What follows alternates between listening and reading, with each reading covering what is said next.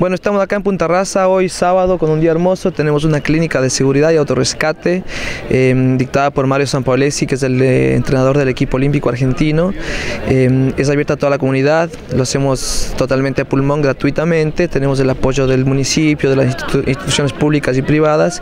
Básicamente hoy lo que tenemos es una charla de seguridad para que la gente pueda em, repasar los protocolos de seguridad. La gente de prefectura y los guardavidas fueron invitados para que vengan también a aprender o a, reforzar sus conocimientos de cómo rescatar un kiter inconsciente, un kiter consciente, porque viste que eso tiene unos hilos, entonces a veces sin querer uno levanta de los hilos del kite y se complica. Entonces hay un protocolo de seguridad que tenemos que tener todos para poder rescatar a la gente en caso de una emergencia. El evento es gratuito para toda la gente, después hacemos una navegada que queremos también utilizar de manera simbólica para que la gente ayude a limpiar la playa, queremos colaborar con la conciencia ambiental de, nuestras playas, entonces la inscripción es gratuita, lo que sugerimos a la gente es que nos ayuden con juntando residuos que, que, hay acá en la playa, ¿no es cierto? Entonces básicamente es eso, es una invitación abierta al público, estamos acá con distintas escuelas de Buenos Aires, de distintas partes del interior, eh, nosotros somos los, instructores acá locales también, eh, y es un día hermoso, estamos re contentos.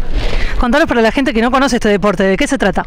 Bueno, el kitesurf es un deporte, eh, podemos decir, bastante moderno, bastante nuevo, eh, y mezcla lo mejor de dos mundos, que es el mundo del aire, la navegada del vuelo, digamos, y, y el, el, mar. Entonces, vos eh, te desplazás en cualquier espejo de agua por medio de un barrilete, como los que vemos acá, te pones un arnés y tienes una barra con cuatro hilos que, con la que operas el barrilete. Entonces, vos surfeás una ola eterna, podemos decir, ¿sí? Hay varios estilos, hay racing, hay freestyle, hay, bueno, hay de todo, para todos los gustos. Y es un deporte que la gente piensa que es muy difícil, necesitas mucha, mucho estado físico, tener cierta edad o lo que sea, pero eso es mentira, realmente tenemos alumnos de 7 años a 70 años.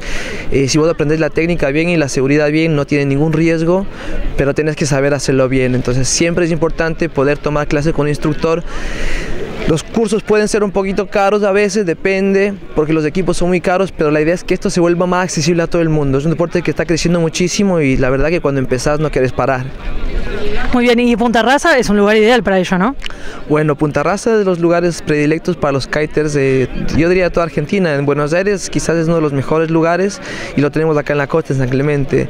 Y la idea de nosotros es justamente eso. Imagínate si vos vivís en Hawái y no haces surf, ¿sí? Tienes las olas, tienes todo. Bueno, nosotros estamos en San Clemente, tenemos Punta Raza, tenemos vientos todo el tiempo, bahía de poca profundidad, agua plana, es ideal. Entonces queremos que la gente venga, que se acerque a preguntar, que no tenga miedo, vergüenza de mira cómo funciona esto, nada, eso, ¿no? Como invitarlos a todos a que participen y compartir y limpiar la playa, porque la verdad que no nos damos cuenta a simple vista que la gente deja pañales, bolsas, todo, entonces queremos ayudar también a la limpieza de las playas.